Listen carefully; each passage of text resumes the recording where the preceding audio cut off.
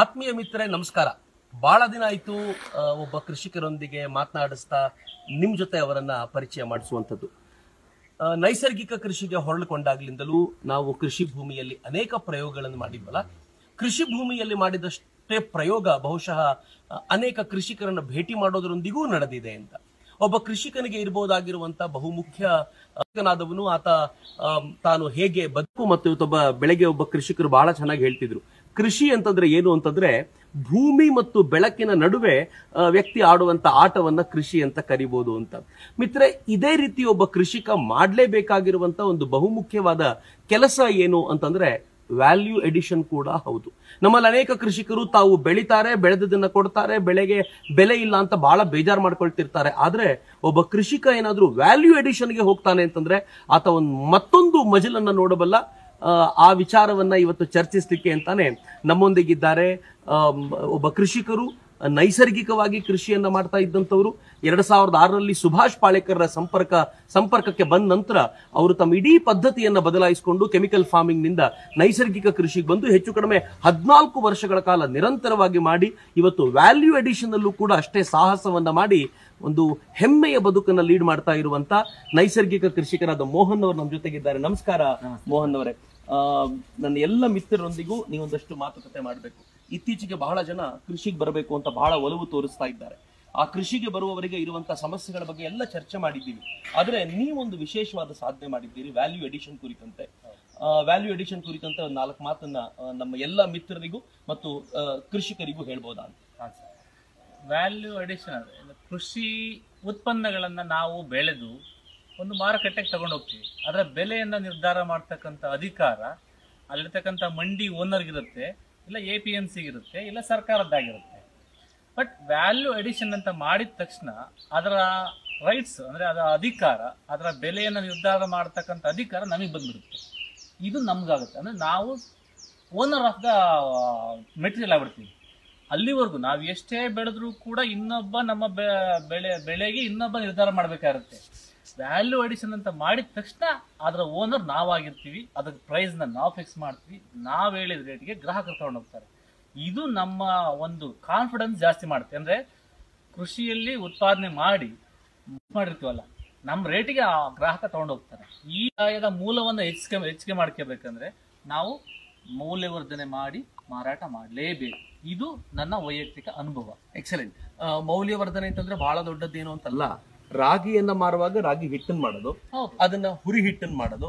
So ಸಣ್ಣ ಸಣ್ಣ ಕೆಲಸವೇ. ಆದ್ರೆ ಪ್ರತಿ ಬಾರಿ ಮೌಲ್ಯವರ್ಧನೆ ಆದಾಗ್ಲೂ ಕೂಡ ರೇಟು ಒಂದು ಪಟ್ಟು ಒಂದೂವರೆ ಪಟ್ಟು ಜಾಸ್ತಿ ಆಗ್ತಾನೆ ಹೋಗುತ್ತೆ ಅನ್ನೋದು ನಾವು ಗಮನಿಸಬೇಕಾಗಿರುವಂತ ಸಂಗತಿ. ನಾವೊಂದು ವಿಶೇಷವಾದ ಯಂತ್ರದ ಮುಂದೆ ನಿಂತಿದೀವಿ ಯಂತ್ರ ಅಂತ ಹೇಳಲಿಕ್ಕೂ ಅಂತ ಹೇಳಲಿಕ್ಕೂ ಕಷ್ಟ. ಆದ್ರೆ ಅದೇನು ಅಂತ ಮೋಹನ್ ಎಕ್ಸ್ಪ್ಲೈನ್ ಮಾಡ್ತಾರೆ. ಸರ್ ಇದು ಒಂದು ಸೋಲಾರ್ ಡ್ರೈಯರ್ ಸರ್ ಆಕ್ಚುಲಿ ಸೂರ್ಯನ ಬೆಳಕು ಬಂದಾಗ ಚಾಲನೆ ಆಗುತ್ತೆ. ಸೂರ್ಯನ ಬೆಳಕು ನಿಂತು ಹೋದಾಗ ಇದು ಆಫ್ ಆಗುತ್ತೆ. ಇದು ಈ ಸೋಲಾರ್ ಡ್ರೈಯರ್ ಅಂತ ಹೇಳಿ ಇದು ಸೂರ್ಯನ ಬಿಸಿಲಿಗೆ ಈ ಜಾಗದಲ್ಲಿ, ಈ four by four in square feet ಅಲ್ಲಿ, ನಾಲ್ಕು ಬೈ ನಾಲ್ಕರಲ್ಲಿ ಹೀಟ್ ಜನರೇಟ್ ಆಗುತ್ತೆ. ಆ ಹೀಟ್ ಪುಷ್ ಮಾಡುತ್ತೆ. ಆ ಗಾಳಿ ಏನ್ ಮಾಡುತ್ತೆ? ನಾವು ಇಲ್ಲಿ ಒಣ ಹಾಕಿದಂತ ವಸ್ತುಗಳ ಮೇಲೆ ಮೇಲೆ ಆಚೆ ಹೋಗುತ್ತೆ. ಬಿಸಿ ಗಾಳಿ ಆಚೆ ಹೋದಾಗ ನಮ್ಮ ವಸ್ತುಗಳಿರ್ತಕ್ಕಂಥ ಮಾಯ್ಶ್ಚರ್ ಈಚೆ ಹೋಗ್ಬಿಡುತ್ತೆ. ಅಂದ್ರೆ ಮೋಡ ಬಂತು ನಮ್ಮ ಕೊಬ್ಬರಿಯಲ್ಲಿ ಮಾಯ್ಚರ್ ಇದೆ ಇದನ್ನ ಡ್ರೈ ಮಾಡೋದು ಹೆಂಗೆ ಅಂದರೆ ಬಿಸಿಲು ಬರಲೇಬೇಕು. ಬಿಸಿಲು ಬರೋರು ಕಾಯಬೇಕು. ಅದ್ರ ಬದಲು ಒಂದು ಟೂ ಅವರ್ಸ್ ಎರಡು ಎರಡರಿಂದ ಮೂರು ಗಂಟೆ ಟೈಮ್ ಇದ್ರಲ್ಲಿ ಹಾಕಿಬಿಟ್ಟು ಒಂದು ಸ್ವಲ್ಪ ಶಾಖಮಯ ವಾತಾವರಣ ಬಂದರೆ ಸಾಕು ಇದರಲ್ಲಿ ಡ್ರೈ ಆಗಿಬಿಡುತ್ತೆ. ನಮಗೆ ಇದರಲ್ಲಿ ಮಾಯಿಶ್ಚರ್ ಇಲ್ಲ ಅಂದರೆ ನಾವು ಯಾವುದೇ ಮೌಲ್ಯವರ್ಧನೆ ಮಾಡಿದಂಥ ವಸ್ತುಗಳು ಹಾಳಾಗಲ್ಲ. ಹಾಗಾಗಿ ಪ್ರತಿಯೊಬ್ಬ ರೈತರು ಕೂಡ ಯಾರೇ ಆಗಲಿ ಕಾಳು ಕಡ್ಡಿಗಳು ಏನು ನಾವು ಒಣಗಿಸ್ಕೋಬೇಕು ಅಂತೀವಲ್ಲ ಮೋಡ ಬಂದ್ಬಿಡುತ್ತೆ. ಆ ಟೈಮಲ್ಲಿ ಸೋಲಾರ್ ಡ್ರೈವರ್ ತುಂಬ ಉಪಯೋಗ. ಇರಬೇಕಾಗಿ ಮಿತ್ರ ಇದರಲ್ಲಿ ಭಾರಿ ದೊಡ್ಡ ಏನು ತಂತ್ರಜ್ಞಾನ ಇದೆ ಅಂತ ಏನು ಭಾವಿಸುವಂತ ಅಗತ್ಯ ಇಲ್ಲ. ಇಟ್ಸ್ ವೆರಿ ಸಿಂಪಲ್ ನೀವು ಇದನ್ನ ಹೀಟ್ ಏನ್ ಜನರೇಟ್ ಆಗುತ್ತೋ ಅದನ್ನ ಸಣ್ಣದೊಂದು ಫ್ಯಾನ್ ಇದೆ ಅಲ್ಲಿ. ಸೋಲಾರ್ನ ಪವರ್ ಇಂದ ರನ್ ಆಗುತ್ತೆ ಅದು ಪುಷ್ ಮಾಡುತ್ತೆ ಅದು ಇವೆಲ್ಲವನ್ನು ಒಣಗಿಸುತ್ತೆ. ಮೋಹನ್ ಹೇಳೋ ಪ್ರಕಾರ ಪ್ರತಿಯೊಬ್ಬ ರೈತರ ಮನೆಯಲ್ಲೂ ಕೂಡ ಬರುತ್ತೆ. ಈಗ ನಾನು ನಿಮ್ಮನ್ನ ಅವರು ಮಾಡ್ತಾ ಇರುವಂತ ಮೌಲ್ಯವರ್ಧಿತ ವಸ್ತುಗಳ ಹತ್ರ ಕರ್ಕೊಂಡು ಹೋಗ್ತೀನಿ ಅದಾದ್ಮೇಲೆ ಹೇಗೆ ಅದು ಅವರ ಆರ್ಥಿಕ ಸ್ಥಿತಿಯನ್ನು ಇಂಪ್ರೂವ್ ಮಾಡಿದೆ ಅನ್ನೋದನ್ನು ಕೂಡ ಅವ್ರು ಹೇಳ್ತಾರೆ. ಬನ್ನಿ ಅವ್ರ ಮನೆ ಒಳಗೆ ಹೋಗೋಣ.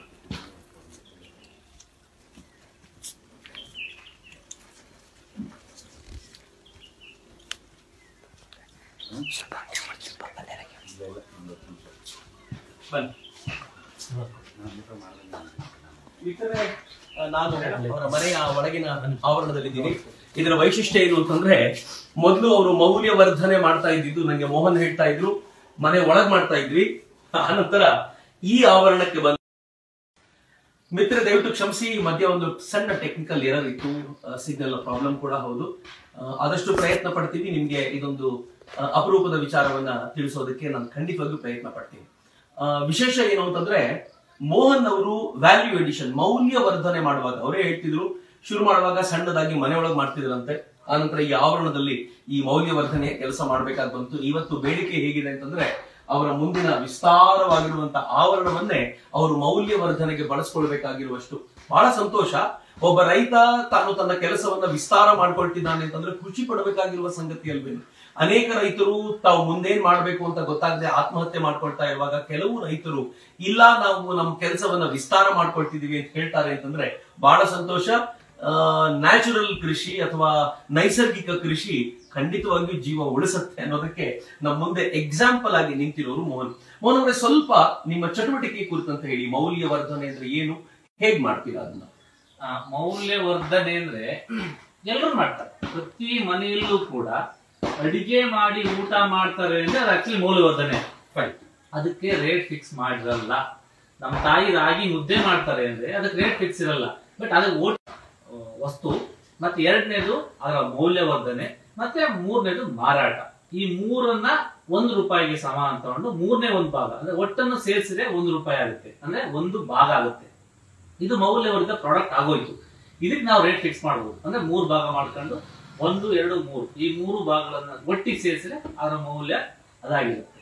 ಹಂಗಾಗಿ ಮೌಲ್ಯವರ್ಧನೆ ಮಾಡಕ್ ಯಾರು ಬೇಕಾದ್ರೂ ಕೂಡ ಪ್ರಯತ್ನ ಮಾಡಬಹುದು ಈ ಮೌಲ್ಯವರ್ಧನೆ ಆಲೋಚನೆ ಹೇಗೆ ಗೊತ್ತು? ಮಿತ್ರರೆ, ಅವ್ರು ಯಾವ್ದಾವ್ದು ವಸ್ತುಗಳನ್ನ ಮೌಲ್ಯವರ್ಧನೆ ಮಾಡ್ತಿದ್ದಾರೆ ಅಂತ ಹೇಳೋಕ್ಕಿಂತ ಮುಂಚೆ ಒಂದು ಪ್ರಶ್ನೆ ಕೇಳ್ಬೇಕು ಅವ್ರನ್ನ. ಯಾಕೆ ಈ ಆಲೋಚನೆ ಬಂತು? ನಿಮ್ಗೆ ಹೆಂಗ್ ಶುರುವಾಯ್ತು? ನಾವು ಸುಮಾರು ಎರಡ್ ಸಾವಿರದ ಆರರಲ್ಲಿ ನೈಸರ್ಗಿಕ ಕೃಷಿ ಬಂದ್ಬಿಟ್ವಿ. ಸುಭಾಷ್ ಪಾಳಕರ್ ಹೇಳಿದ್ರು ಹೇಳಿ ಬಂದ್ಬಿಟ್ವಿ. ಬಂದಾದ್ಮೇಲೆ ಒಂದು ಮೂರ್ನಾಲ್ಕು ವರ್ಷ ನಮ್ಮ ಇನ್ಕಮ್ ಕಮ್ಮಿ ಆಗ್ತಾ ಉಂಟು ನಂತರ ಗತಿ ಕೆಡಲಿಲ್ಲ ಬೇರೆ ಕನ್ವರ್ಟ್ ಆಗಿಲ್ಲ. ಬಂದ್ವಿ. ಆಮೇಲೆ ನಮ್ಮ ಸ್ನೇಹಿತರುಗಳೆಲ್ಲ ಕಾರ್ ತಗೊಂಡು ಓಡಾಡ ಶುರುವಾದ್ರು ಒಳ್ಳೊಳ್ಳೆ ಮನೆಗಳು ಕಟ್ಟಿಸ್ಕೊಂಡ್ರು. ನಮಗೂ ಆಸೆ ಬಂತು. ನಾವು ಏನಾರು ಮಾಡ್ಬೇಕಲ್ವ? ಜೀವನದಲ್ಲಿ ಸಾಧನೆ ಮಾಡ್ಬೇಕಲ್ವ? ನಾವು ಕಾರ್ ತಗೋಬೇಕು. ಇನ್ನ ದುಡ್ಡುಗಳು ಬೇಕಲ್ವ? ನಮ್ಗೂ ಒಡವೆ ಮಾಡಿಸ್ಕೋಬೇಕು ಆಸೆಗಳು ಇವೆಲ್ಲ ಪೂರೈಕೆ ಮಾಡ್ಕೊಳಕ್ಕೆ ನಮ್ಮ ಕೃಷಿ ನಮ್ದೇನಾತ ನಾಲ್ಕು ಎಕರೆ ನಾಲ್ಕು ಎಕರೆ ಮಾತ್ರ ನಮ್ಮ ಜಮೀನು ಇತ್ತು. ನಾವು ಅಷ್ಟರಲ್ಲಿ ಲಿಮಿಟ್ ಆಗಿದ್ವಿ. ತೆಂಗಿನಕಾಯಿ ಏನ್ ಬರುತ್ತೆ ಅಡಿಕೆ ಏನ್ ಬರುತ್ತೆ, ಅದರಲ್ಲಿ ನಾವು ಹಂಗೆ ಸಂಸಾರ ಬ್ಯಾಲೆನ್ಸ್ ಮಾಡ್ಕೊಂಡಿದ್ವಿ. ಇವೆಲ್ಲ ಬೇಕಂದಾಗ ಮನೆ ಕಟ್ಟಬೇಕು ಕಾರ್ ತಗೋಬೇಕು ಅಂತ ಅಂದಾಗ ಸ್ವಲ್ಪ ಇನ್ವೆಸ್ಟ್ಮೆಂಟ್ ತಗೊಂಡಲ್ಲ ಏನಾರ ಮಾಡಿ ಕಷ್ಟಪಟ್ಟು ದುಡಿಯೋಣ ಅಂತ ಹೇಳಿ ಓಡಿಸಿ ಆಗ ನಮ್ಮ ನಮಗೆ ಈ ಗೋಮಯಿಂದ ಭಸ್ಮ ಮಾಡೋದನ್ನ ನಮ್ಮ ಕನ್ನೇರಿ ಮಠ ಶ್ರೀಗಳು ಹೇಳ್ಕೊಟ್ರು. ಆಗ ಭಸ್ಮ ಮಾಡೋದನ್ನ ಕಲ್ತ್ಕೊಂಡ್ಬಂದು ಅಲ್ಲಿಂದ ಶುರು ಮಾಡಿದ್ವಿ. ಒಂದು ಪ್ರಾಡಕ್ಟ್ ಇಂದ ಶುರುವಾದ್ರು ಇವತ್ತು ಮೂವತ್ತಾರರಿಂದ ಮೂವತ್ತೆಂಟು ಪ್ರಾಡಕ್ಟ್ ಮಾಡ್ತಾ ಇದ್ವಿ ಎಲ್ಲ ಮನೆಯಲ್ಲೇ ಯಾವುದೇ ಮಿಷಿನರಿ ಇಲ್ಲ. ಯಾವುದೇ ಮಿಷಿನರಿ ಇಲ್ಲ. ನಾನು ಹೇಳ್ಬೇಕಂದ್ರೆ ಎಲ್ಲೂ ಕೂಡ ಸಾಲ ಮಾಡಿಲ್ಲ, ಸಾಲ ಮಾಡಲ್ಲ. ಯಾವುದೇ ಇಲಾಖೆಗಳ ಸಂಪರ್ಕದಲ್ಲಿ ನಾವಿಲ್ಲ. ಯಾಕೆ, ನಾವು ಸಬ್ಸಿಡಿ ಕೊಡ್ತಾರೆ ಅಂತೇಳಿ ಅಲ್ಲಿ ಕ್ಲೈಮ್ ಮಾಡೋದು, ಅವರ ಹತ್ರ ದುಡ್ಡು ತಗೊಳೋದು ಈ ಸಿಸ್ಟಮ್ ನಮ್ಮಲ್ಲಿ ಇಲ್ಲ ನಾವು ಸ್ವಾವಲಂಬಿಗಳಾಗಿ ದುಡಿತಾ ಇದ್ದೀವಿ ಮಿತ್ರರ ಕೇಳಿಸ್ಕೊಂಡ್ರಲ್ಲ? ಶುರು ಮಾಡಿದ್ದು ಭಸ್ಮದಿಂದ. ಇವತ್ತು ಮೂವತ್ತಾರರಿಂದ ಮೂವತ್ತೆಂಟು ಪ್ರಾಡಕ್ಟ್ ಅವರ ಬಳಿ ಇದೆ. ನಾನು ಸುಮ್ಮನೆ ಇರುವಂತ ಪ್ರಾಡಕ್ಟ್ಸ್ ಓದ್ತೀನಿ. ಹಲಸಿನಕಾಯಿ ಚಿಪ್ಸ್ ಇದೆ, ಬಾಳೆಕಾಯಿ ಚಿಪ್ಸ್ ಇದೆ, ಅವರೆಕಾಳು ಚಿಂತುರುಳಿ ಇದೆ ಬಾಳೆಕಾಯಿ ಚಿಪ್ಸ್ ಮೆಣಸಿನ ಯೂಸ್ ಮಾಡಿರುವಂತದ್ದು ಹುರುಳಿ ತಂಬಿಟ್ಟು, ಸಿರಿಧಾನ್ಯದ ಸಿರಿ ಇದೆ, ಕಡಲೆ ಮಿಠಾಯಿ ಇದೆ, ಹಾಗಲಕಾಯಿ, ನಿಂಬೆಕಾಯಿ, ಮೆಣಸಿನಕಾಯಿ, ಉಪ್ಪಿನಕಾಯಿ, ಏಡ್ಲಿಕಾಯಿ ಉಪ್ಪಿನಕಾಯಿ, ಏಡ್ಲಿಕಾಯಿ, ಸಿಹಿ, ಉಪ್ಪಿನಕಾಯಿ ಅಂಟಿನ ಉಂಡೆ, ಅಕ್ಕಿ, ಹಪ್ಪಳ ಹಲಸಿನಕಾಯಿ ಹಪ್ಪಳ, ಕಾಯಿ ಮಿಠಾಯಿ, ನಿಂಬೆಕಾಯಿ ಸಿಹಿ ಸಿಕ್ಕಾಪಟ್ಟೆ ಇದೆ. ನಾನು ಈ ರಾಗಿ ಹುರಿ ಹಿಟ್ಟಿದ್ದಿಲ್ಲ ಇದನ್ನ ನಾನೇ ಬಳಸಿದ್ದೀನಿ. ನನಗೆ ಮೋಹನ್ ಅವರು ಒಂದು ಬಾರಿ ತಂದ್ಕೊಟ್ಟಿದ್ರು ನಾನು ಇದನ್ನ ಬಳಸಿದ್ದೀನಿ. ಏನ್ ಅದ್ಭುತವಾಗಿದೆ ಅಂತಂದ್ರೆ ಬಿಲೀವ್ ಮೀ ನೀವ್ ಒಂದ್ಸಲ ತಿಂದ್ರೆ ನೀವ್ ಯಾವ್ದನ್ನ ಸಾರಿ ಯಾರಾದ್ರೂ ಇದೆ ಮಕ್ಕಳಿಗೆ ತಿನ್ಸೋದಿದ್ರೆ ನಾನು ಅದಕ್ಕೆ ತಪ್ಪು ಅಂತ ಹೇಳಲಿಕ್ಕೆ ನಾನು ಯಾರು? ನೀವು ಕಾಂಪ್ಲಾನು ಅಥವಾ ಹಾರ್ಲಿಕ್ಸ್ ಕುಡಿಸ್ತಾ ಇದ್ದೀನಿ ಮಕ್ಕಳಿಗೆ ಗಟ್ಟಿ ಆಗ್ತಿದ್ದಾರೆ ಅಂತ ನೀವೇನಾದ್ರೂ ಅನ್ಕೊಂಡ್ರೆ ಒಮ್ಮೆ ನಿಮ್ ಮಕ್ಕಳಿಗೆ ಏನಾದ್ರೂ ರಾಗಿ ಹುರಿ ಹಿಟ್ಟನ್ನು ಕೊಟ್ಟು ನೋಡಿ ಆ ಮಕ್ಕಳು ಅದನ್ನ ಎಷ್ಟು ಎಂಜಾಯ್ ಮಾಡ್ತಾರೆ ಅಂತಂದ್ರೆ ನೀವು ನಂಬಲಿಕ್ಕೆ ಸಾಧ್ಯ ಇಲ್ಲ. ಅನೇಕ ಬಾರಿ ನಾವು ಕೂಡ ಅದನ್ನ ಅಷ್ಟು ಪ್ರೀತಿಯಿಂದ ತಿಂತಿದ್ವಿ. ನಾವೆಲ್ಲ ವಾಲಂಟಿಯರ್ಸ್ ಎಲ್ಲ ಅದನ್ನ ಬಹಳ ಎಂಜಾಯ್ ಮಾಡಿದ್ವಿ. ಅಷ್ಟು ಅದ್ಭುತವಾಗಿರುವಂತದ್ದು ಆ, ಈ ಎಲ್ಲ ಪ್ರಾಡಕ್ಟ್ ಮಾಡ್ಲಿಕ್ಕೆ ನಿಮ್ಗೆ ಪೂರ್ಣ ಸಹಕಾರ ಯಾರು? ಈ ಎಲ್ಲ ಪ್ರಾಡಕ್ಟ್ ಮಾಡಕ್ಕೆ ಪೂರ್ಣ ಸಹಕಾರ ಅಂದ್ರೆ ನನ್ನ ತಾಯಿ ನನ್ನ ಹೆಂಡತಿ ನಮ್ಮ ಅಣ್ಣ ನನ್ನ ಮಗ ನಮ್ಮ ಫುಲ್ ಫ್ಯಾಮಿಲಿ ಎಲ್ಲರೂ ಸಪೋರ್ಟಿವ್ ಆಗಿದ್ದಾರೆ. ಇದ್ರಲ್ಲಿ ಯಾಕೆಂದ್ರೆ ಒಬ್ಬನಿಂದ ಏನೊಂದು ಸಾಧನೆ ಮಾಡಕ್ ಆಗಲ್ಲ. ನಮಗೆ ಒಂದು ಗ್ರೂಪ್ ಬೇಕು. ಗ್ರೂಪ್ ಬೇಕಂದ್ರೆ ನಮ್ಗೆ ಸಂಸಾರನೇ ನಮ್ಮ ಗ್ರೂಪ್ ಇದೆ. ರೈತ ಕೃಷಿಕ ಅಂದ ತಕ್ಷಣ ಮನೆಯಲ್ಲಿರುವಂತ ಗಂಡಸರು ನೆನಪಾಗ್ಬಿಡ್ತಾರೆ. ಆದ್ರೆ ಒಬ್ಬ ಕೃಷಿಕನ ಹಿಂದೆ ಒಬ್ಬ ಹೆಣ್ಮಗಳು ಯಾವಾಗ್ಲೂ ಆಗ್ಲಿ ದಯವಿಟ್ಟು ಬನ್ನಿ ನೀವು ಅವರನ್ನು ನೋಡ್ಬೇಕು ಬೇಕಾದ್ರೆ ಕೃಷಿಕ ಅಂತಂದ್ರೆ ಬರೀ ಗಂಡ ಮನೆಯ ಯಜಮಾನ ಮಾತ್ರ ಅಲ್ಲ ಆ ಹೆಣ್ಮಕ್ಳು ಕೂಡ ಪೂರ್ತಿ ಇನ್ವಾಲ್ವ್ ಆಗ್ತಾರೆ. ಒಂದ್ಸಲ ಏನಾದ್ರು ಪ್ರಾಡಕ್ಟ್ಸ್ ತೋರಿಸ್ಬೋದಮ್ಮ ನೀವು? ಯಾವ ಪ್ರಾಡಕ್ಟ್ ಯಾವ್ದಾದ್ರು ಒಂದು ಹಲಸಿನಕಾಯಿ ಚಿಪ್ಸ್ ಆಗ್ಲಿ ಅಥವಾ ಉಂಡೆ ಆಗ್ಲಿ ಯಾವ್ದು ಅವರೀಗ ಅವರೆಕಾಳಿನ ಚಿನ್ಕುರುಳಿ ನಿಮ್ಗೆ ತೋರಿಸ್ತಾ ಇದ್ದಾರೆ. ಅಫ್ಕೋರ್ಸ್ ನೀವೆಲ್ಲ ಅದನ್ನ ತಿಂದಿರ್ತೀರಾ ಎಲ್ಲ ಕಡೆ ಆದ್ರೆ ಅದನ್ನ ಅವ್ರು ಮಾಡಿ ಮತ್ತು ಇದರ ವೈಶಿಷ್ಟ್ಯ ಏನು ಅಂತ ಕೂಡ ಅವ್ರು ಹೇಳ್ತಾರೆ. ಇದಕ್ಕೆ ಬಳಸುವಂತ ಎಣ್ಣೆ ಆಗ್ಲಿ ಈಗ ಅವರೇ ಬೇಳೆ ಚಿನ್ಕುರುಳಿ ಅಂದ್ರೆ ಎಲ್ಲ ಕಡೆ ತಿಂದಿರ್ತಾರೆ. ಆ ನಮ್ಮಲ್ಲಿ ಏನಪ್ಪಾ ಸ್ಪೆಷಾಲಿಟಿ ಅಂದ್ರೆ ನೈಸರ್ಗಿಕ ಕೃಷಿಯಿಂದ ಬೆಳೆದಿರ್ತಕ್ಕಂಥ ಅವರೆಕಾಳು, ನೈಸರ್ಗಿಕ ಕೃಷಿಯಿಂದ ಬೆಳೆದಂತ ಕಡಲೆ ಬೀಜ ನೈಸರ್ಗಿಕ ಕೃಷಿಯಿಂದ ಬೆಳೆದಂತ ಕಡಲೆ, ಅವಲಕ್ಕಿನೂ ಕೂಡ ಕೆಮಿಕಲ್ ಫ್ರೀ ಫಾರ್ಮಿಂಗ್ ಅಲ್ಲಿ ಅಕ್ಕಿ ಬೆಳೆದಿರ್ತಕ್ಕಂಥ ರೈತನ ಮನೆಯಿಂದಲೇ ತರಿಸಿ ಅದನ್ನ ಕೊಬ್ಬರಿ ಎಣ್ಣೆಯಲ್ಲಿ, ನಮ್ಮ ಕೊಬ್ಬರಿ ಎಣ್ಣೆಯಲ್ಲಿ, ಹೆಮ್ಮೆ ಅನ್ಸುತ್ತೆ. ನಮ್ಮ ಕೊಬ್ಬರಿ ಎಣ್ಣೆಯಲ್ಲಿ ಕರೆದು ಅದಕ್ಕೆ ಸೈಂಧವ ಲವಣ ಹಾಕಿರ್ತೀವಿ. ಬೇರೆ ಕಡೆ ಎಲ್ಲ ಉಪ್ಪು ಕೆಮಿಕಲ್ ಉಪ್ಪು ಹಾಕಿರ್ತಾರೆ. ನಾವು ಸೈಂಧವ ಲವಣ ಮತ್ತೆ ಕೆಮಿಕಲ್ ಫ್ರೀ ಫಾರ್ಮಿಂಗ್ ಮೆಣಸಿನಕಾಯಿನ ಬಳಸಿ ರೆಡಿ ಮಾಡಿರ್ತೀವಿ. ನಮ್ದು ತಿಂದ್ರೆ ಅನುಭವ ಬರುತ್ತೆ. ಅದು ತಿಂದಾಗ ನಿಮಗೆ ಖಾರ ಅನ್ಸ್ಬೋದು, ಇಲ್ಲ ಉಪ್ಪು ಅನ್ಸ್ಬೋದು, ಹುಳಿ ಅನ್ಸ್ಬೋದು, ಏನೋ ಒಂದು ಅನ್ಸ್ಬೋದು. ಬಟ್ ನಮ್ದು ರುಚಿ ಕೊಡುತ್ತೆ. ರುಚಿದಾಯಕವಾಗಿರುತ್ತೆ, ಮತ್ತೆ ಆರೋಗ್ಯಪೂರ್ಣವಾಗಿರುತ್ತೆ. ಡಿಫ್ರೆನ್ಸ್ ಅನ್ನ ಯಾರು ಬಾಯಿಯ ನಾಲಿಗೆ ರುಚಿಕಾರರವರು ಅವ್ರು ತಿಂದಾಗ ಮಾತ್ರ ಕಂಡುಹಿಡಿತಾರೆ. ತಿಂದೆ ಹೋದಂತ ಗೊತ್ತಾಗಲ್ಲ. ಅಂದ್ರೆ ಹಂಡ್ರೆಡ್ ಪರ್ಸೆಂಟ್ ಹೆಲ್ದಿ ಆಗಿರುವಂತ ಫುಡ್ ಇದನ್ನ ನಾವೇನ್ ಪ್ರಚಾರ ಮಾಡ್ಬೇಕಾಗಿಲ್ಲ. ಇವತ್ತು ಅವ್ರು ಹೇಗಿದ್ದಾರೆ ಅಂತಂದ್ರೆ ಅವರಿಗೆ ಖಂಡಿತವಾಗಿಯೂ ಪುರುಸೊತ್ತಿಲ್ಲ. ಅವರು ಬೆಂಗಳೂರಿನಲ್ಲಿ ಒಂದ್ ಕಡೆ ಮಾರಾಟಕ್ಕೆ ಬರ್ತಾರೆ, ಸರ್ಜಾಪುರ್ ರೋಡ್ನಲ್ಲಿ ಅದನ್ನ ಅವರೇ ಡೀಟೇಲ್ ಕೊಡ್ತಾರೆ. ಅವ್ರು ಮಾರಾಟಕ್ಕೆ ಬಂದಾಗ ಅಲ್ಲಿ ಬರುವಂತ ಕೆಲವೇ ಕೆಲವು ಗ್ರಾಹಕರು ಅವರ ಅಷ್ಟು ಪ್ರಾಡಕ್ಟ್ ಅನ್ನ ತೆಗೆದುಕೊಂಡು ಅವರು ಕಳಿಸ್ತಾರೆ ಅವ್ರನ್ನ ಪ್ರತಿ ತಿಂಗಳು. ಅಷ್ಟು ಹೆಮ್ಮೆಯಿಂದ ಅವರು ಬದುಕುವಂತ ವಾತಾವರಣ ನಿರ್ಮಾಣ ಆಗಿದೆ ಮಿತ್ರರೆ. ಆ ಹೆಲ್ದಿ ಫುಡ್ಡಿನ ಒಂದು ವಿಶೇಷವಾದ ಶಕ್ತಿ ಅವರ ಫುಡ್ಡಿಗಿದೆ ಇಷ್ಟು ಫುಡ್ನಲ್ಲಿ ನೀವ್ ಏನನ್ನ ಸಜೆಸ್ಟ್ ಮಾಡ್ತೀರಾ? ಎಲ್ಲ ವೀಕ್ಷಕರಾಗ್ಲಿ ಪ್ರತಿಯೊಬ್ರು ಇಂಥದ್ದನ್ನು ತಿಂದ್ರೆ ಒಳ್ಳೇದು ಅಂತ ಹೇಳಲಿಕ್ಕೆ ಯಾವ್ಯಾವ ಐಟಮ್ ಬಗ್ಗೆ ಹೇಳ್ಬೋದು ನೀವು? ಎಲ್ಲವೂ ಕೂಡ ಆರೋಗ್ಯಪೂರ್ಣವಾದಂತ ಆಹಾರಗಳನ್ನೇ ನಾವು ಮಾಡೋದು. ನೈಸರ್ಗಿಕ ಕೃಷಿಯಿಂದ ಬಂದಂತ ಉತ್ಪನ್ನಗಳನ್ನೇ ಮಾಡೋದು. ಕೊಬ್ಬರಿ ಎಣ್ಣೆ ತಿನ್ಬೇಡಿ ಅಂತಂದ್ರೆ ನಾನು ನನ್ನನ್ನ ಡಿಗ್ರೇಡ್ ಮಾಡ್ದಂಗೆ ಆಗುತ್ತೆ ಯಾಕೆಂದ್ರೆ ಬೇಡ ಕೊಬ್ಬರಿ ಎಣ್ಣೆ ತುಂಬಾ ಉತ್ಕೃಷ್ಟವಾದ ಒಂದು ತಾಯಿ ಎದೆಹಾಲಿ ಹಾಲಿಗೆ ಸಮಾನವಾದಂತ ವಸ್ತು ಅಂತ ಹೇಳ್ತಾರೆ. ಹಾಗಾಗಿ ಕೊಬ್ಬರಿ ಎಣ್ಣೆ ಎಣ್ಣೆಯಲ್ಲಿ ಕರೆದ ಕರೆದ ಪದಾರ್ಥಗಳು ಕೂಡ ಇದೆ ಚಕ್ಲಿ ಹಪ್ಳ ನಿಪ್ಪಟ್ಟು ಈ ತರದೆಲ್ಲ ಇದೆ. ಚಿಪ್ಸ್ ಎಲ್ಲ ಇದೆ. ಈ ಉಂಡೆಗಳು, ಅಂದ್ರೆ ಸಿರಿಧಾನ್ಯದ ಉಂಡೆ ಮತ್ತೆ ಉಳ್ಳಿಕಾಳು ತಂಬಿಟ್ಟು ಮತ್ತೆ ಅಂಟಿನ ಉಂಡೆ, ರಾಗಿ ಹುರಿ ಹಿಟ್ಟು ಇವ್ಯಾವು ಕೂಡ ಕರಿದ ವಸ್ತುಗಳಲ್ಲ. ಕರಿಯದೆ ಮಾಡಿದಂತ ವಸ್ತುಗಳು. ಅಂದ್ರೆ ಮನೆಯಲ್ಲಿ ಎಲ್ಲರೂ ಕೂಡ ಫ್ರೀ ಆಗಿದ್ದಾಗ ಲಾಂಗ್ ಡ್ಯೂರೇಷನ್ ಇವೆಲ್ಲ ಸಾತ್ವಿಕ ಗುಣ ಇರ್ತಕ್ಕಂಥವು. ಅಂದ್ರೆ ಪ್ರಚೋದನಾಕಾರಿಗಳು ಆಹಾರಗಳಲ್ಲ.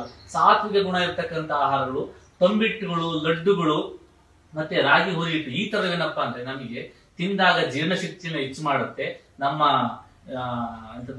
ಆ, ಮನೋಬಲವನ್ನ ಹೆಚ್ಚು ಮಾಡುವಂತ ಆಹಾರಗಳಾಗಿರೋದ್ರಿಂದ ತಂಬಿಟ್ಟುಗಳು ಮತ್ತೆ ಹುರಿ ಹಿಟ್ಟುಗಳು ಇವು ಉತ್ತಮವಾದ ಆಹಾರ ನೀವು ಹೇಳಿದ್ರಿ ನೀವು ಬೆಳೆಯುವುದು ಅಡಿಕೆ ಮತ್ತು ತೆಂಗು. ಹ್ಮ್ ಹ್ಮ್ ಹ್ಮ್. ಇವೆಲ್ಲವೂ ನೀವು ಬೆಳೆಯಲ್ಲ. ಇವೆಲ್ಲವನ್ನು ಎಲ್ಲಿಂದ ಪ್ರೊಕ್ಯೂರ್ ಮಾಡ್ತೀರಾ? ಹೌದು.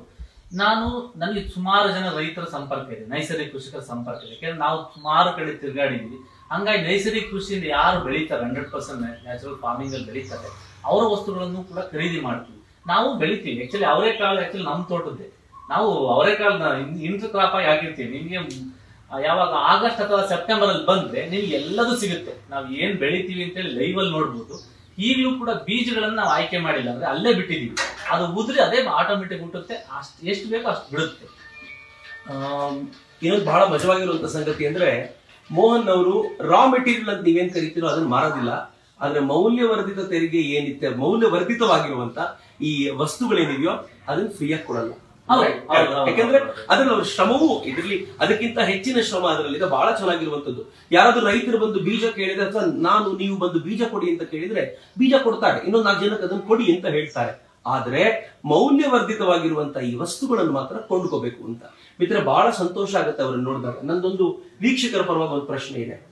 ಅಕಸ್ಮಾತ್ ಯಾರಾದ್ರೂ ಬಂದು ನಮಗೂ ಇದನ್ನ ಕಲ್ಸ್ಕೊಡಿ ಅಂತಂದ್ರೆ ನಿಮ್ಮ ಮನಸ್ಥಿತಿ ಏನು ಅಂತ ಹೇಳಿ. ಖಂಡಿತ. ಈಗ ನನಗೆ ಆಸೆ ಇರೋದೇನು ಗೊತ್ತಾ? ನಾನೊಬ್ಬನೇ ಬೆಳೆದು ಏನೂ ಆಗ್ಬೇಕಾಗಿಲ್ಲ. ನಾನೊಬ್ಬನೇ ಇಡೀ ಪ್ರಪಂಚಕ್ಕೆ ಆಹಾರವನ್ನು ಪೂರೈಕೆ ಮಾಡೋಕ್ಕಾಗಲ್ಲ.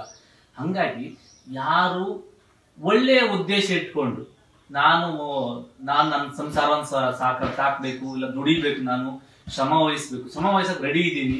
ಇಲ್ಲ ಒಳ್ಳೆ ಆಹಾರವನ್ನು ಜನಗಳಿಗೆ ಕೊಡಬೇಕು ಅಂತ ಯಾರಿಗೆ ಆಸೆ ಇರುತ್ತೆ. ಅವ್ರು ಯಾರೇ ಬಂದ್ರು ಕೂಡ ನನ್ನ ಮನೆಯಲ್ಲಿ ಫ್ರೀಯಾಗಿ ಊಟ ಹಾಕಿ ಅವ್ರು ಟ್ರೈನಿಂಗ್ ಕೊಡ್ತೀವಿ. ಇಲ್ಲ ಅವರೇ ಅವ್ರ ಊರಲ್ಲಿ ಒಂದು ಹತ್ತು ಜನ ಏನಾರ ಗ್ರೂಪ್ ಆಗಿ ಮಾಡ್ಕೊಳ್ತೀವಿ ಅಂದ್ರೆ ಅವರೇ ಬೇಕಾದ್ರೆ ಒಂದು ಜಾಗ ಫಿಕ್ಸ್ ಮಾಡ್ಲಿಕ್ಕೆ ನಾನು ಹೋಗ್ತೀನಿ. ನಮ್ದು ಇಲ್ಲಿ ಒಂದು ಟೈಡ್ ಅಂತ ಒಂದು ಸಂಸ್ಥೆ ಇದೆ ಸರ್. ಇಲ್ಲಿ ಅಂತ ಆ, ಅಲ್ಲಿ ಒಂದು ಮಹಿಳಾ ತಂತ್ರಜ್ಞಾನ ಉದ್ಯಮವನ ಅಂತ ಹೇಳಿ ಆಕ್ಚುಲಿ ಮಹಾ ವುಮೆನ್ಸ್ ಡೆವಲಪ್ಮೆಂಟ್ ಪ್ರೋಗ್ರಾಮೇ ಅದು ಮಾಡೋದಿಲ್ಲ. ನಾನು ಹೆಚ್ಚಿಗೆ ಒಂದ ಒಂದ್ ನೂರ್, ನೂರೈವತ್ತು ಟ್ರೈನಿಂಗ್ ಕೊಟ್ಟಿನಿ. ಅಂದ್ರೆ ಹೆಚ್ಚಿಗೆ ಸಾವಿರಾರು ಜನಕ್ಕೆ, ಹೆಣ್ಮಕ್ಳಿಗೆ ಈ ರಾಗಿ ಉರಿಟ್ ಮಾಡೋದು, ರಾಗಿ ನಿಪ್ಪಟ್ಟು ಮಾಡೋದು, ರಾಗಿ ಚಕ್ಲಿ ಮಾಡೋದು ಮನೆಯಲ್ಲಿ. ಏಕೆಂದ್ರೆ ಹೊರಗಡೆ ತಂದ್ರೆ ಎಂತ ಎಣ್ಣೆ ಬಳಸಿದರೆ, ಯಾರು ಮಾಡಿದರೆ, ಅದು ಎಂತ ಜಾಗದಲ್ಲಿ ಮಾಡಿದರೆ ಗೊತ್ತಿಲ್ಲ. ನಿಮ್ಮ ಮನೆಯಲ್ಲೇ ರುಚಿಕರವಾದ ಆಹಾರವನ್ನ ರಾಗಿಯಲ್ಲೇ ಮಾಡ್ಕೋಬಹುದು ರಾ ಮೆಟೀರಿಯಲ್ ಜೀರೋ ಕಾಸ್ಟ್ ಆಗುತ್ತೆ. ನಾವ್ ಎಲ್ಲಿಂದ ನಮ್ಮ ಹಣ ಎಲ್ಲೂ ಹೋಗಲ್ಲ. ನಮ್ಮ ಹಣ ನಮ್ಮ ಹತ್ರಲ್ಲೇ ಇರುತ್ತೆ. ಆರೋಗ್ಯನೂ ನಮ್ಮ ಹತ್ರ ಇರುತ್ತೆ. ಹಿಂಗಾಗಿ ಸುಮಾರು ಟ್ರೈನಿಂಗ್ ಕೊಟ್ಟಿದ್ವಿ. ಸುಮಾರು ಜನ ಬದಲಾವಣೆ ಮಾಡಿದ್ದಾರೆ ಮಾಡ್ಕೊತಾ ಇದ್ದಾರೆ. ಗುಡ್ ಅದು ಒಬ್ಬ ನೈಸರ್ಗಿಕ ಕೃಷಿಕ ಬಹುಶಃ ಈ ತರದ ಕೃಷಿ ಮಾಡುವ ಕಲ್ಪನೆ ಇದ್ದವ್ರು ಮಾತ್ರ ಇದು ಮಾಡ್ಲಿಕ್ಕೆ ಸಾಧ್ಯ ಅಂತ. ಯಾರಿಗಾದ್ರೂ ಸರಿ ನಾನು ಹೇಳ್ಕೊಡ್ತೀನಿ ಅಂತ ಇದು ನನ್ನ ಬಿಸ್ನೆಸ್ಗೆ ಎಫೆಕ್ಟ್ ಆಗ್ಬಿಡತ್ತೇನೋ ಮತ್ತೇನೋ ಆ ಕಲ್ಪನೆ ಇಟ್ಕೊಳ್ಳದೆ ಬಹಳ ಪ್ರೀತಿಯಿಂದ ಮಾಡೋದಿದೆಯಲ್ಲ ಬಹಳ ವಿಶೇಷವಾಗಿದ್ದು ಮಿತ್ರರೆ. ನಂಗೆ ಗೊತ್ತಿಲ್ಲ ನಾನು ಇದು ಈ ಪ್ರಶ್ನೆ ಯಾವತ್ತೂ ಕೇಳಲಿಕ್ಕೆ ಇಚ್ಛೆ ಪಡಲ್ಲ ಆದ್ರೆ ನಿಮಗೋಸ್ಕರ ಕೇಳ್ತೀನಿ. ಈ ಒಟ್ಟಾರೆ ಈ ತರದ ವ್ಯಾಲ್ಯೂ ಎಡಿಷನ್ ಮಾಡೋದ್ರಿಂದ ನಿಮ್ಗೆ ಆದಾಯದಲ್ಲಿ ಇಂಪ್ರೂವ್ಮೆಂಟ್ಸ್ ಏನ್ ಕಂಡಿದೆ? ಸರ್, ನಾವು ಹೊರಟಿದ್ದು ಏನಾಯ್ತು ಅಂದ್ರೆ ನಮ್ಮ ಕೊಬ್ಬರಿ ಮತ್ತೆ ಅಡಿಕೆಯನ್ನ ನಮ್ಮ ಮೂಲ ಆದಾಯ ಆಗಿತ್ತು.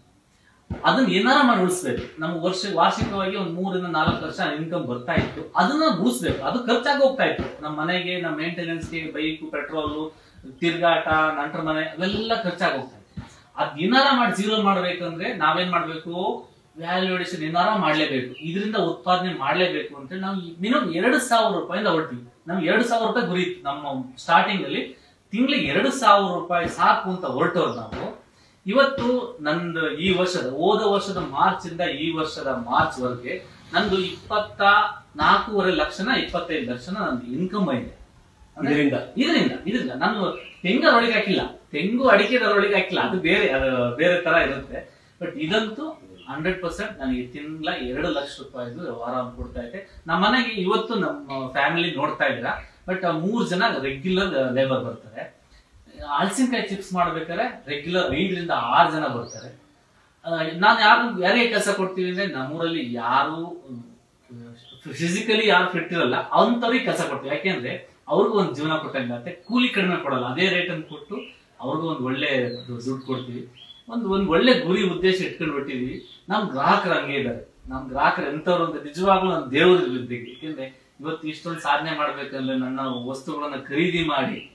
ಅವ್ರು ಇನ್ನೊಂದು, ನಾನು ನಮ್ಗೆ ಇನ್ನೊಂದು ಹೇಳ್ತೀನಿ, ಸತ್ಯ ಹೇಳ್ತೀನಿ ಕೇಳಿ. ನನಗೆ ಬೆಂಗಳೂರಿಗೆ ಹೋದಾಗ ಸರ್, ಆರು ವರ್ಷದ ಹಿಂದೆ ವ್ಯಾಲ್ಯೂಡೇಷನ್ ಮಾಡೋಕೆ ಶುರು ಮಾಡಿ. ಕನ್ನಡ ಒಂದ್ ಬಿಟ್ಟು ಬೇರೆ ಲ್ಯಾಂಗ್ವೇಜ್ ಬರ್ತಿರಲಿಲ್ಲ. ಇವತ್ತು ನಾಲ್ಕು ಭಾಷೆಯನ್ನು ಹೇಳ್ಕೊಟ್ಟಿದ್ದಾರೆ. ನನಗೆ ಜಿ ಪೇ ಅಂದ್ರೆ ಏನು ಅಂತ ಗೊತ್ತಿಲ್ಲ ಪೇಟಿಎಂ ಅಂದ್ರೆ ಏನು ಅಂತ ಗೊತ್ತಿಲ್ಲ, ಎಲ್ಲ ದೊಡ್ಡ ಫೋನ್ ಯೂಸ್ ಮಾಡೋದೇ ಗೊತ್ತಿರಲಿಲ್ಲ ನನಗೆ ಅವರೇ ದೊಡ್ಡ ಫೋನ್ ಕೊಡಿಸಿ ನಮ್ಮ ಬಾಸ್ ಅವರೇ ದೊಡ್ಡ ಫೋನ್ ಕೊಡಿಸಿ, ಅದಕ್ಕೆಲ್ಲ ಆ್ಯಡ್ ಮಾಡಿ, ಅವೆಲ್ಲವನ್ನ ಹಿಂಗೆ ಮಾಡಬೇಕು ಹಿಂಗೆ ಮಾಡಬೇಕು ಹಿಂಗೆ ಮಾಡಬೇಕು, ಹಿಂಗೆ ಮಾತಾಡಬೇಕು, ಹಿಂಗೆ ನೀವು ಇರಬೇಕು, ಎಲ್ಲವನ್ನ ಕಲಿಸಿದವರು ನನ್ನ ಬೆಂಗಳೂರಿಂದ ನನ್ನ ಗ್ರಾಹಕರು. ಇವತ್ತು ಅವರು ನನ್ನ ದೇವರುಗಳು. ಹಂಗಾಗಿ ನೀವು ನೀವು ಅಷ್ಟೇ. ಯಾರೇ ವ್ಯಾಲ್ಯೂಡೇಷನ್ ಇಲ್ಲ ಹೆಸರು ಖುಷಿ. ಏನಕ್ಕೆ ನೋಡಿ ಗುರಿ ಗುರು. ಇಬ್ಬರನ್ನ ದಯಮಾಡಿ ಇಟ್ಕೋಬೇಕು. ಇಲ್ಲ ಅಂದ್ರೆ ನಾವು ಜೀವನದಲ್ಲಿ ಮುಂದುವರೆಯಕ್ಕೆ ಸಾಧ್ಯನೇ ಇಲ್ಲ. ಎಕ್ಸಲೆಂಟ್ ಪರಮಾದ್ಭುತವಾಗಿ ತುಂಬಿತ್ತಾರೆ ನನಗಂತೂ ಕಲಿಲಿಕ್ಕೆ ಬಹಳ ಸಿಕ್ತು ಅಂತ. ಅನೇಕ ಬಾರಿ ಕೃಷಿ ಅಂತಂದ್ರೆ ನಷ್ಟದ ಬಾಪ್ತು ಅಂತ ತಿಳ್ಕೊಳ್ತೀವಿ. ಆದ್ರೆ ಆ ಕೃಷಿಯಿಂದ ಮುಂದೆ ಏನ್ ಮಾಡ್ಬೇಕು? ಅವ್ರು ಹೇಳಿದಂತೆ ಗುರಿಯ ಕಡೆಗೆ ಸಮರ್ಥವಾಗಿ ನಾವು ಹೆಜ್ಜೆ ಇಡ್ಲಿಕ್ಕೆ ಸಾಧ್ಯ ಆದ್ರೆ ಡೆಫಿನೆಟ್ಲಿ ಏನನ್ನಾದ್ರೂ ಗಳಿಸ್ಕೊಳ್ತೀವಿ. ನಾನು ಅಫ್ಕೋರ್ಸ್ ನನ್ಗೆ ಗೊತ್ತು, ನೀವು ತುಂಬಾ ಆಮೇಲೆ ಕೇಳ್ತೀರಿ. ಅವ್ರು ಇರುವಂತ ಈ ಜಾಗ ತಿಪ್ಟೂರಿನ ತುಮಕೂರಿನ ತಿಪ್ಟೂರಿನ ಬೀರ್ಸಂದ್ರ. ಬೀರ್ಸಂದ್ರ. ಅನ್ನೋ ಗ್ರಾಮದಲ್ಲಿ ಇರ್ತಾರೆ ಮೊಬೈಲ್ ನಂಬರ್ ಅದೇ ಅದ್ರ ಅದನ್ನೇ ಹೇಳ್ತೀನಿ ನಾನು. ಅವ್ರ ಮೊಬೈಲ್ ನಂಬರ್ ಏನಿದೆ ಅಂತಂದ್ರೆ ನೀವು ನೋಟ್ ಮಾಡ್ಕೋಬಹುದು eight two one seven four three two eight seven three eight two one seven four three two eight seven three Mohan Kumar ಅವರು. ನೀವು ಅವರನ್ನ ಕಾಂಟ್ಯಾಕ್ಟ್ ಮಾಡ್ಬೋದು, ಅವ್ರ ಜೊತೆ ಮಾತನಾಡಬಹುದು ಅನೇಕ ವಿಚಾರಗಳನ್ನು ತಿಳ್ಕೊಳ್ಬಹುದು ನಂಗೆ ಗೊತ್ತು ಈ ವಿಡಿಯೋನ ತುಂಬಾ ಜನ ತರುಣರು ನೋಡ್ತಿರ್ತೀರಿ. ನಿಮ್ಗೂ ಕೆಲವೊಂದ್ಸಲ ಈ ತರದ ಆಸಕ್ತಿ ಇದ್ರೆ ಮಾತನಾಡಿಸಿ ಅವರನ್ನ, ಕೇಳಿ ಅವ್ರ ಹತ್ರ ನಾವು ಏನ್ ಮಾಡ್ಬೋದು, ಮುಂದೆ ಹೇಗೆ ಹೋಗ್ಬೋದು ಅಂತ ಗೈಡ್ ಮಾಡ್ತಾರೆ. ಮತ್ತು ಹೊಸಬರನ್ನ ತುಂಬಾ ಚೆನ್ನಾಗಿ ಗೈಡ್ ಮಾಡ್ತಾರೆ ಅವರು. ಯಾಕಂದ್ರೆ ಅವರಿಗೂ ಕೂಡ ಈ ತರದ ಗೈಡ್ ಮಾಡಿದ ಕೆಲವರು ಇದ್ರಲ್ಲ, ಅವ್ರನ್ನ ಮುಂದಿಟ್ಕೊಂಡು ಅವರು ಕೂಡ ಅನೇಕರಿಗೆ ಗೈಡ್ ಮಾಡ್ತಾರೆ. ಈ ವ್ಯಾಲ್ಯೂ ಆಡೆಡ್ ಐಟಮ್ಸ್ ಅನ್ನ ನಿಮ್ಮ ಬಳಿಗೆ ಅವರು ಬೆಂಗಳೂರಿಗೆ ತಲುಪಿಸ್ತಾರೆ. ನೀವು ಯಾವ್ದಾದ್ರು ಅವ್ರು ಫೋನ್ ಮಾಡಿ ಕೇಳ್ಕೊಂಡ್ರೆ ನಿಮಗೂ ಬೇಕಾದ್ರೆ ಅವ್ರದನ್ನ ಕೊಡಬಲ್ಲರು. ಮಿತ್ರರೆ ಬಹಳ ಸಂತೋಷ. ಮೋಹನ್ ಅವರೇ ನೀವು ನಿಮ್ಮ ಪತ್ನಿಯವರು ಇಬ್ರು ಸೇರಿ ಸಮಾಜಕ್ಕೆ ಒಳ್ಳೆ ಕೆಲಸ ಮಾಡ್ತಿದ್ದಾರೆ. ಯಾಕೆ ಗೊತ್ತೇನು? ಒಳ್ಳೆಯ ಆಹಾರ ತಿನ್ನೋದೇ ಕೊರತೆ ಇರುವಾಗ ನಾವೆಲ್ಲ ತಿನ್ನುವಂಥದ್ದು ಕೆಮಿಕಲ್ ಯುಕ್ತ ಫುಡ್ ಆಗಿರುವಾಗ ಇವತ್ತಂತೂ ಎಲ್ಲರಿಗೂ ಹಾರ್ಟ್ ಪ್ರಾಬ್ಲಮ್ ಬಂದಿದೆ ಅವರೆಲ್ಲರಿಗೂ ಇವತ್ತು ಬ್ಲಡ್ ಪ್ರೆಷರು ಶುಗರ್ ಪ್ರಾಬ್ಲಮ್ ಇದೆ ಕಿಡ್ನಿ ಪ್ರಾಬ್ಲಮ್ ಅಂತೂ ಸಿಕ್ಕಾಪಟ್ಟೆ ಇದೆ ಅವೆಲ್ಲವೂ ಕೂಡ ನೇರವಾಗಿ ನಮ್ಮ ಫುಡ್ ಸಂಬಂಧಪಟ್ಟಿದ್ದು. ಆದ್ರೆ ನೀವು ಜನರ ಆರೋಗ್ಯವನ್ನ ಇಷ್ಟು ಚೆನ್ನಾಗಿ ಸಣ್ಣ ಸಣ್ಣ ಬಾಟ್ಲಲ್ಲಿ ಇಟ್ಟು ಆರೋಗ್ಯ ಕೊಡ್ತಿದ್ದಾರೆ. ನಮ್ಗೆ ಅದು ಅರ್ಥ ಆಗಲ್ಲ ಅರ್ಥ ಆಗೋದು ಬಹಳ ಲೇಟ್ ಆಗುತ್ತೆ ಆದ್ರೆ ಪ್ರೀತಿಯಿಂದ ಕೆಲಸ ಮಾಡ್ತಿರೋ ಅವರಿಗೆ ನಿಮ್ಮೆಲ್ಲರ ಪರವಾಗಿ ನಾನು ಧನ್ಯವಾದಗಳನ್ನು ಸಮರ್ಪಿಸ್ತೀನಿ. ಭಗವಂತ ನಿಮ್ಗೆ ಇನ್ನೂ ಹೆಚ್ಚಿನ ಶಕ್ತಿಯನ್ನು ಕೊಡ್ಲಿ. ನಾನು ಉತ್ಪಾದನೆ ಬಗ್ಗೆ ಮಾತನಾಡ್ಲಿಕ್ಕೆ ಹೋಗಲ್ಲ, ಆದ್ರೂ ಕೂಡ ಹೆಚ್ಚು ಉತ್ಪನ್ನವನ್ನ ಕೊಡ್ಲಿ. ನಿಮ್ಗೆ ಉತ್ಪನ್ನ ಜಾಸ್ತಿ ಆದ್ರೆ ಸಮಾಜಕ್ಕೆ ಲಾಭ ಎನ್ನುವ ದೃಷ್ಟಿಯಿಂದ ಈ ಕೋರಿಕೆಯನ್ನು ಕೇಳ್ಕೊಳ್ತಾ ಇವರೆಲ್ಲರ ಪರವಾಗಿ ನಿಮಗೆ ಧನ್ಯವಾದಗಳನ್ನು ಸಮರ್ಪಿಸ್ತೀನಿ. ಜೈ ಹಿಂದ್. ನಮಸ್ತೆ.